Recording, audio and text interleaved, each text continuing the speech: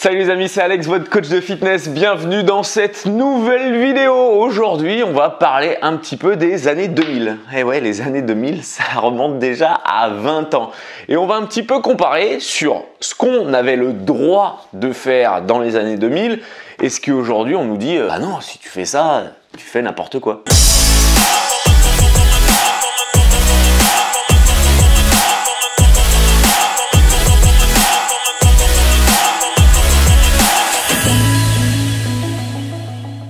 Bienvenue dans cette nouvelle vidéo, bienvenue sur la chaîne YouTube Move Your Fit. Moi c'est Alexandre Mallier et avec Jessica Mellet, toutes les semaines on vous donne trois nouvelles vidéos par semaine sur la chaîne YouTube Move Your Fit.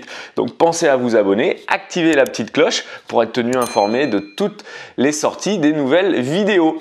Et si c'est la première fois qu'on se voit, bah, j'ai un petit cadeau pour vous, c'est les 10 conseils pour être au top physiquement, des conseils santé, des conseils sportifs, des conseils nutrition, euh, pour être une meilleure version de vous-même et pour progresser dans votre vie. Vous voyez là, je suis pas dans mon cadre habituel, je suis chez ma maman en Bretagne et ça fait du bien de se ressourcer un petit peu. Aujourd'hui, on va parler un petit peu de ce qu'on pouvait faire dans les années 2000, euh, parce que pour ceux qui me découvrent, moi je suis diplômé depuis 2003 maintenant, donc on est en 2020, donc ça fait maintenant 17 ans. J'ai commencé le fitness vers 98.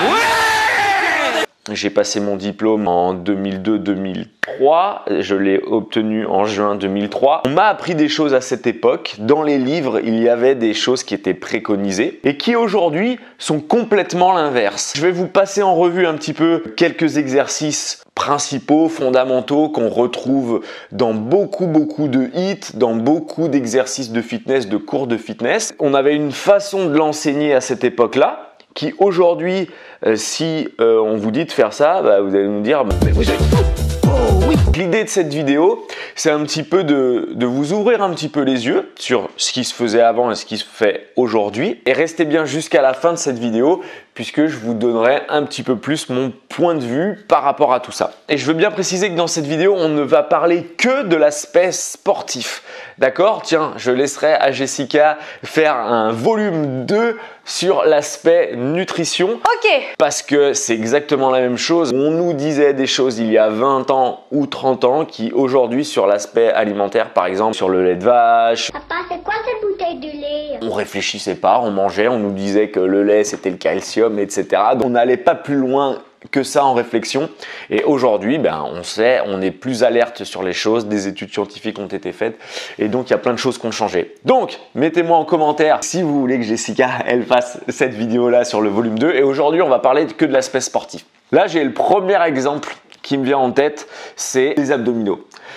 Les abdominaux, à notre époque, si on voulait avoir un ventre plat, on parlait même pas de ventre plat en fait à l'époque. À l'époque, on disait je veux avoir les plaquettes de chocolat, je veux avoir un six-pack et donc, eh bien, je vais faire des crunchs comme ça. On nous disait de mettre la tête, voilà, les mains derrière la tête, de rapprocher, voilà, le menton à la poitrine et d'enrouler, et d'enrouler, et d'enrouler, et d'enrouler. D'ailleurs, on voit pas mal de footeux qui continuent à faire ça. Ronaldo qui en fait des centaines.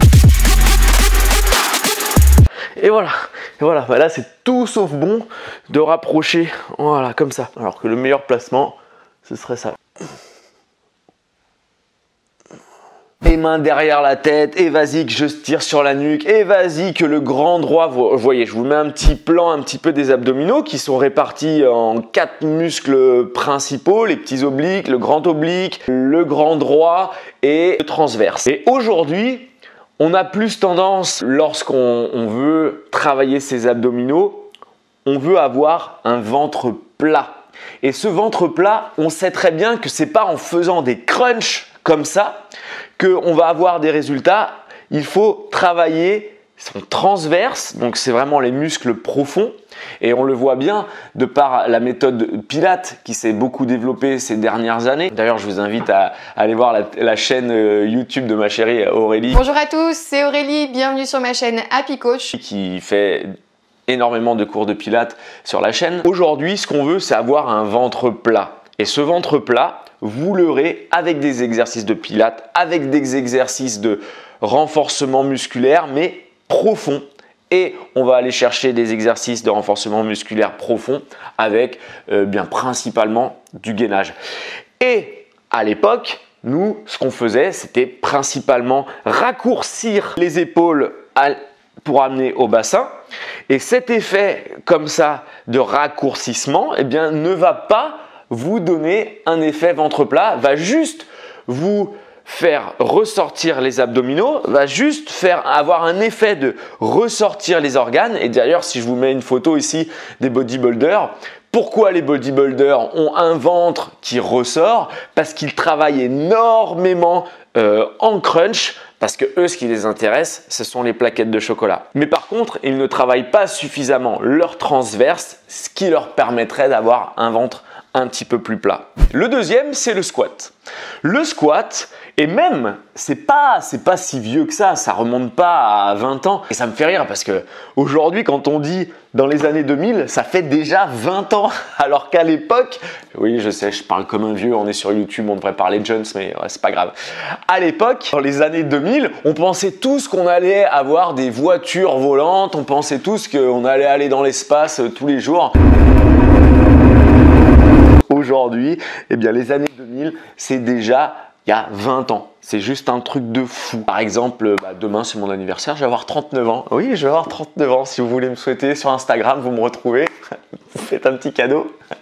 bon, blague à part, le temps passe trop vite. Et il y a déjà 20 ans, dans les années 2000, lorsque j'ai passé mon diplôme, les squats, eh bien, on nous avait appris ça. Et ouais, à l'époque, la bonne consigne, c'était vraiment... Euh, les pieds largeur d'épaule, voilà, on pousse bien les fesses vers l'arrière, on fait surtout attention à ne pas dépasser la ligne imaginaire des orteils et on vient s'asseoir, on garde le dos droit et les pieds, les cuisses parallèles au sol et on remonte. Voilà. Alors que là, c'est vrai que tout a changé maintenant, d'accord? Ici, vraiment, le vrai squat, c'est on se laisse aller, pointe de pied vers l'extérieur, tranquille, les genoux dans le même axe par rapport aux pointes des pieds. Et puis vraiment, voilà, c'est ça, c'est je viens m'asseoir. Voilà, tout simplement. Et là, le dos reste droit, les genoux sont un petit peu avancés, mais ça ne pose aucun problème si on a suffisamment les souplesses des chevilles et des genoux et du dos eh bien, on se fera jamais mal. Au début de notre chaîne YouTube, on avait fait quelques tutos justement pour vous montrer ce qui était un squat et je le présentais encore comme ça. Alors qu'aujourd'hui, on sait très bien, et le CrossFit l'a beaucoup démocratisé, que le squat est une posture naturelle. Le squat complet est une posture naturelle. Regardez cet enfant. Vous voyez? Eh bien, faire un squat, complet, je parle d'un squat complet avec les pointes de pied vers l'extérieur, avec les fesses bien en bas, eh bien c'est quelque chose qui est naturel. Et les singes ont, beaucoup ce cette positionnement de, squat complet, mais c'est vrai que on, prend souvent l'exemple du bébé, de l'enfant, parce que il est révélateur. Et c'est juste à nous de revenir à nos origines et de bien le travailler parce que souvent on a trop tendance à avoir le dos arrondi. Donc c'est pour ça qu'avec un bon placement comme ça, eh bien vous n'aurez pas de problème de dos. Euh, bien au contraire, c'est comme ça que vous allez vous le renforcer et c'est comme ça que vous allez vous améliorer. Donc toutes ces histoires de je n'avance pas le genou, euh, je fais attention à pas dépasser la pointe euh, des pieds, eh bien c'était avant. Voilà. Aujourd'hui, on a évolué et il faut juste se laisser aller et travailler peut-être un petit peu plus sa souplesse pour pouvoir bien faire ce mouvement. La souplesse, ça va être mon troisième point. Pour pouvoir bien faire un squat, il faut pratiquer le stretching. Et le stretching, eh bien c'est vrai que ça reste quand même un sujet très très très controversé. Aujourd'hui, on nous dit qu'il faut faire avant, qu'il faut faire après, qu'il faut pas en faire du tout. Voilà. Mais moi, à mon époque, c'est horrible de dire ça en fait. moi, quand j'ai passé mon diplôme en 2003, toutes les études montraient qu'il fallait s'étirer tout de suite après le cours pour éviter les courbatures, pour activer et fluidifier euh, le sang dans le muscle. Tout ça, c'était grâce au stretching. Et aujourd'hui, les études scientifiques ont, montré qu'il fallait attendre minimum une demi-heure, voire une heure, pour faire ton stretching. Pourquoi? Il y a même des études qui vont plus loin, qui disent que le stretching de toute façon euh, ne sert à rien, qu'il n'améliore pas le, flux sanguin dans le muscle, qu'il ne permet pas euh, une meilleure récupération et de lutter contre les courbatures. Donc euh, voilà, et c'est vraiment très très très controversé, mais à l'époque, c'était comme ça. Donc là, ça change tous les jours. Aujourd'hui, il y en a qui disent que ça ne sert à rien, et sinon, les études, moi, je suis plus partisan de ça. Euh, qu'il faut attendre, et, à chaque fois je mets des guillemets parce que ce n'est que mon avis, ce n'est que mon point de vue, qu'il faut attendre une heure pour bien s'étirer, pour éviter les courbatures et pour avoir une meilleure récupération. Parce qu'en fait, si vous étirez tout de suite après un exercice, et je ne parle pas du petit étirement que l'on va faire après la séance, redescendre un petit peu la fréquence cardiaque, pour s'étirer un petit peu. Là, qui permet de redescendre un petit peu le cœur, qui permet de détendre un petit peu les muscles, mais en aucun cas d'aller chercher loin dans, l'étirement. Je ne parle pas de, ça. Indispensable 2-3 minutes. C'est pour ça qu'on dit toujours à, la fin de chaque cours de fitness, à la fin de chaque hit, on prend le temps de le faire. Là, vraiment, ce qu'il faut, euh, si vous vous étirez tout de suite après, en fait, le muscle, lui, il est toujours en tension. Donc du coup, par exemple, si vous l'avez euh, sollicité, contracté, le fait de l'étirer, lui, il est toujours en tension, euh, allez, une demi-heure, voire une heure après. Et donc du coup, vous allez l'étirer, là je, caricature, hein. vous allez l'étirer, mais du coup, comme il est toujours en, tension euh, pas mal de minutes après, eh bien il va se recontracter. Donc tout le travail de stretching que vous aurez fait tout de suite après la séance ne sera pas bénéfique pour les muscles sollicités. Hein. Si, je vous dis une bêtise, mais si vous voulez faire votre stretching après un hit pour améliorer votre souplesse, allez-y, il n'y a aucun problème. Par contre, si c'est juste pour enlever les courbatures ou euh, vous étirez le muscle que vous venez de solliciter juste pendant votre séance, bah ça sert à rien. Donc attendez toujours une demi-heure voire une heure pour que ce soit efficace sur le muscle qui a été sollicité. Voilà, donc c'est intéressant de voir un petit peu la comparaison par rapport euh, à il y a déjà 20 ans et aussi mais même euh, si je pousse encore le, truc un petit peu plus loin. Tu pousses le bouchon un peu trop loin, Maurice. Aujourd'hui, on ne fait que du sport bah, pas que du sport, hein, mais dans notre milieu du fitness, on fait beaucoup pour être beau dans le miroir. Alors qu'avant, il y a 20 ans ou il y a 30 ans, on faisait du sport pour se sentir bien, pour se sentir en forme. Et aujourd'hui, c'est vrai que les standards ont aussi changé, les standards physiques. Avant, les jeunes filles, les mannequins, ce qui était vraiment à la mode, c'était vraiment les gens qui étaient très très très très très très skinny, avec des fesses plates, et c'était ça que les, filles aimaient. Aujourd'hui, et vous allez me dire si vous êtes d'accord avec moi ou pas dans les commentaires, vous allez me dire ce que vous aimez. Mais aujourd'hui, c'est des gros fessiers bien bombés. D'ailleurs, Jessica euh, a fait un programme pour ça, euh, pour avoir des fessiers bombés en 8 semaines. Mais c'est vrai que euh, aujourd'hui, les références, on aime ou on n'aime pas, ça c'est un autre débat, d'avoir des, bonnes cuisses et des gros fessiers. Vous regardez aujourd'hui toutes les fit girls, je vous en mets un petit peu, pam pam pam pam pam. eh bien, c'est ça leur référence qu'on appelle le fitness goal. Bon, moi c'est pas trop ma cave, hein, d'avoir des gros, des, gros fessiers de cheval comme ça. comme ça, c'est juste mon avis. Donc voilà, ce que je veux vous dire, c'est que les choses évoluent, rien n'est fixé, rien n'est figé que ce soit du point de vue euh, exercice de fitness, que ce soit du point de vue esthétique. Donc, essayez toujours d'avoir un, recul. Et qui est important, c'est de toujours voir ce qui vous correspond. D'accord? Le standard, là, si on parle d'un physique, le standard physique de quelqu'un n'est peut-être pas le vôtre. Et le standard physique euh, d'aujourd'hui n'est certainement pas et n'est peut-être pas le standard physique de demain. Donc, soyez juste en accord avec vous-même et encore une fois, faites attention, là je, dérive un petit peu, mais parce qu'on n'avait pas ça il y a 20 ans ou il y a 30 ans, tous les réseaux sociaux, faites attention à tout ce qu'on vous montre sur les, réseaux sociaux. C'est pas la vérité. Il y a souvent une bonne lumière, il y a souvent une bonne pose. Moi, souvent, des fit girls qui vont faire genre 2016 euh, vs 2019, il n'y a presque pas de physique qui a changé. Faites attention à ça, il n'y a presque pas de physique qui a changé. Il y a juste une pose qui a changé et il y a juste une lumière qui a changé. Voilà, tu as juste aujourd'hui appris à mieux poser euh, face à ton objectif.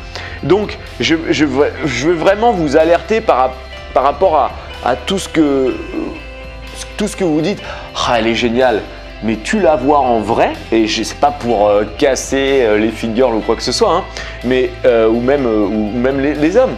Ah, il est magnifique. Mais tu le vois en vrai, il est lambda. C'est juste que il sait ou elle sait bien se mettre en avant sur les réseaux sociaux et bien vendre son corps. Voilà, tout simplement.